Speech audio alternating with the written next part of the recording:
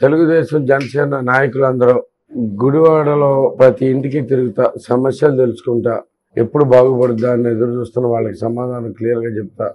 MLA అనేవాడు ఈ చేయాల్సిన పనులన్నీ మేం చేసుకుంటూ వెళ్తున్నాం. ఇప్పుడు నీకు పనేమి లేదు కాబట్టి ఏదైనా కానీ న్యూస్లో ఉండాలంటే పవన్ కళ్యాణ్ గారిని తిట్టాలి చంద్రబాబు గారిని తిట్టాలి ఇలాంటి ఎజెండాలు పెట్టుకుని ఎందుకు పనికిరాని తొలి మాటలు ఎప్పుడు చెప్పేయే ఎప్పుడు చేసే అసలు పూర్తిగా విశ్వాసం కోల్పోయిన వ్యక్తి ఎవరు ఉన్నారంటే ప్రధానంగా నువ్వే. ఒక ఎమ్మెల్యేగానే కాదు ఒక ప్రజానాయకుడిగా కూడా పూర్తిగా విశ్వాసం కోల్పోయారు నీ మీద నువ్వు చెప్పే ప్రతి మాటలోనూ ప్రతి దానిలోనూ అబద్ధాలు ఉంటాయి. నువ్వు మనకి మొన్న ఐదు వేలు మన చంద్రబాబు రా గారి రా కథలు రా సభకి ఐదు వేల మంది వస్తే నేను మళ్ళీ గుడివాళ్ళ కనపడినా అన్నావు. మళ్ళీ ఎందుకు వస్తున్నావు అక్కడ? నువ్వు చెప్పే ఏ ఒక్కదానికి నీకు విశ్వాసం విశ్వసనీయత లేదు. నువ్వు చేసే ఏ పనైనా కానీ ఇలాగే ఉంటుంది. ఏ మాట అయినా కానీ ఇలాగే ఉంటుంది.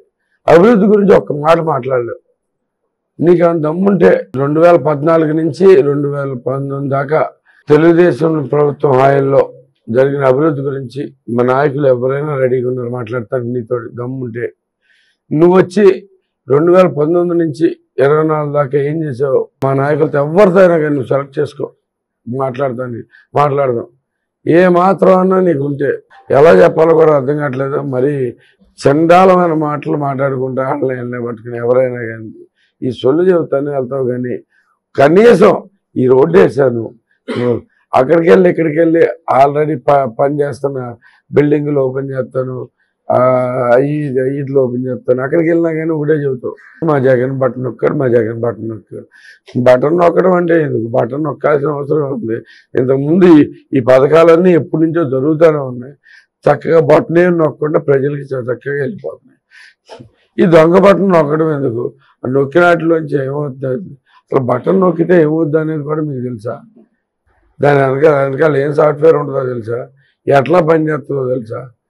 ఏమీ లేదు ఊరికే ఒక ల్యాప్టాప్ పట్టుకుంటాం దాంట్లోంచి దాంట్లోంచి పట్టుకుంటాం. అది కూడా ఎవడో పట్టుకుంటాడు ఓపెన్ చేసి పెడతాడు.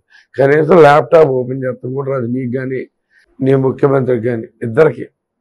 దాన్ని పట్టుకుని ఉన్న బటన్ నొక్కేసి దాంట్లో ఏ బటన్ నొక్కుతాడో కూడా తెలియదు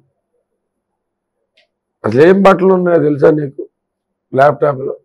చూసుకోకుండా ఒకసారి చెప్పగలిగితే నువ్వు చాలా గొప్పవాడు అనుకుంటా ఏది లేదు ఏ మాత్రం దీంట్లో లేదు.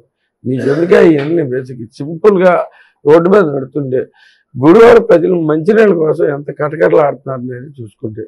నిన్నటికి నిన్న కాలాస్తే కాలనీ వెళ్తే దానిలో నీళ్ళు లేవు. పది రోజుల పాటు డ్రమ్ములు పెట్టుకుని దాంట్లో పెట్టుకుని గడిపి తీసుకుంటూ వెళ్తున్నారు. పది రోజులకి నీ ట్యాంకులు ఎప్పుడు వస్తాయని ఎదురు వాళ్ళని అందరం చేస్తున్నాం. అది మనుషులకి ఏం కావాలి? అసలు మన ప్రజలు మన కోసం వీళ్ళ కోసం ఏం చేయాలి అనే దానికి ఏమి చేయలేం.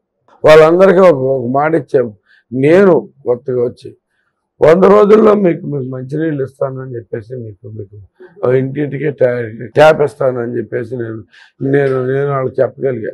ఇలా చెప్పగలిగింది ఒకటి ఉందా నువ్వు? ఇది చేయగలని చెప్పగలిగింది ఒకటి ఉందా చేశానని చెప్పుకునేది ఏముందా?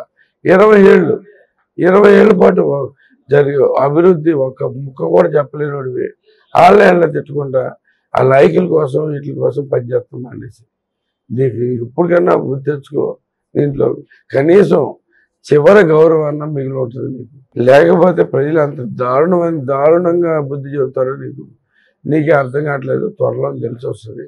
నువ్వు ఎన్ని డ్రామాలు వేసినా ఆ చివరిలో రాజకీయాలు చేద్దామనే ఉద్దేశం ఎంత తీసుకొచ్చినా కానీ నీ వల్ల ఏమీ కాదు.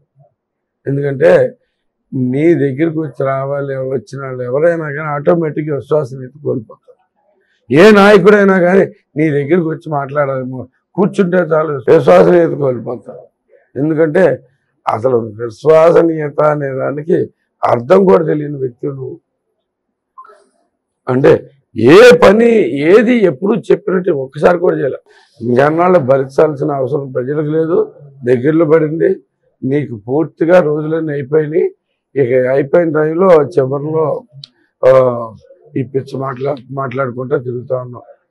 ఇంకా ఇక నీకు అర్థమైపోయింది. ఇక ఇదే లాస్ట్ లాస్ట్ ఎలక్షన్ అది జీ జీవితానికి మళ్ళీ రాదు. ఆ ఎలక్షన్ కూడా ఉంటుందో లేదో కూడా తెలియని పరిస్థితిలో ఉన్నాం. ఎట్టగొట్ట సీట్ తెచ్చుకోవాలని చెప్పేసి జగన్మోహన్ రెడ్డి గారు ఎవరికి ఎవరైనా కానీ చంద్రబాబు నాయుడు గారిని పవన్ కళ్యాణ్నో లోకేష్నో తిడితేనే వాళ్ళు సీట్లు ఇస్తారు కాబట్టి అలా అలా వాళ్ళని తిట్టుకుంటా తిరుగుతూ ఉన్నాం. ఏం తిట్టినా కానీ నీకు నీ సంగతి దానికి కూడా వాళ్ళకి కూడా తెలిసిపోయింది. నీ వల్ల ఎంత నష్టం జరుగుతుందనేది కూడా తెలిసిపోయింది. నువ్వు చేసిన భూగబ్జాలే కానీ నువ్వు చేసిన బియ్యం బియ్యం దందానే కానీ అన్నీ బయటకు వస్తాయి. లోకేష్ బాబు నీ సంగతి చూసుకుంటాడు. ఆ రెడ్ బుక్లో నీ పేరు గట్టిగా ఉంది మొట్టమొదటిగా ఉంది. సో దానికి జైలుకి వెళ్తానికి వెళ్తావో లేదంటే పారిపోతావో దేనికైనా కానీ రెడీ.